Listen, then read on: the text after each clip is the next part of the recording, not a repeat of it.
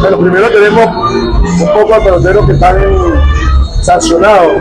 No, no, lo único que espero, que lo que espero la primera temporada, lo espero para todos los días.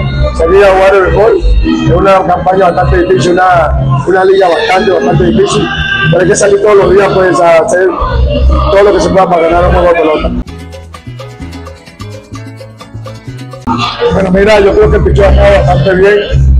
Los peloteros jóvenes que vi me han impresionado mucho, especialmente jugar aquí contra el Caracas Magallanes, que la fanaticada nuevamente vino y darle oportunidad a estos muchachos jóvenes a jugar, que empezar a fanaticada, pues le da un poquito más de confianza, pero el pichón está, está bastante bien.